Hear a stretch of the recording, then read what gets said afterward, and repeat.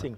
Só uh, sobre o tema, acho que o que está o que tá pacificado aqui, né, é a importância desse momento, dessa reunião, se não com o governador, pode ser até virtualmente, eu acho, nós temos tecnologia para isso, mas é, a, ou seja, é ter um planejamento e que se olhe para pro, pro nosso, se olhe para a nossa cidade com a devida vênia, com a devida atenção. Né?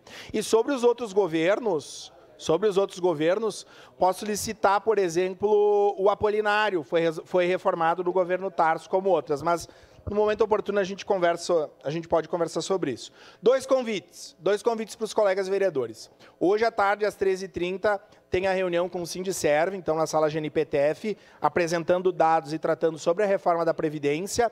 E faço um outro convite também, que vários colegas me questionaram aqui que é uma reunião, eu solicitei para o nosso presidente da SEDUT, que trata sobre os PAR e TBI. Qual é o assunto, gente? A questão é o seguinte, nós temos programas habitacionais em que o ITBI, que é o imposto, quando o arrendatário pagou todo o valor dos 15 anos, quando ele vai passar para o nome dele, ele tem a isenção. O PAR, que é um programa habitacional que tem um fundo social, ele tem uma legislação federal que estabelece essa isenção para os municípios que não têm código tributário. Mas o nosso tem código tributário. E o que, que acontece? um morador do par paga o mesmo ITBI que um morador de, um, de uma residência normal que não é de um conjunto habitacional.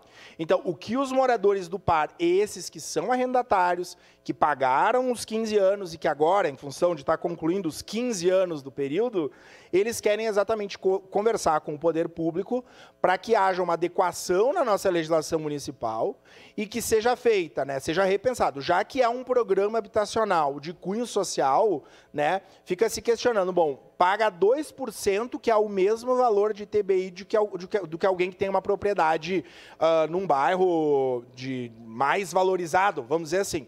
Então a reunião é para isso, nós já conversamos com o secretário Dornelles, conversamos com a secretária Grégora, acho que vai ser uma reunião profícua para a gente pensar em alternativas. E destaco para esses moradores, que muitos estão chegando no final do pagamento de todo o período e se deparam aí com o valor de TBI, que é um valor alto, né, sendo um programa habitacional de caráter social. Então, convido também os vereadores para se fazerem presentes nesse momento. Era isso, obrigado, presidente.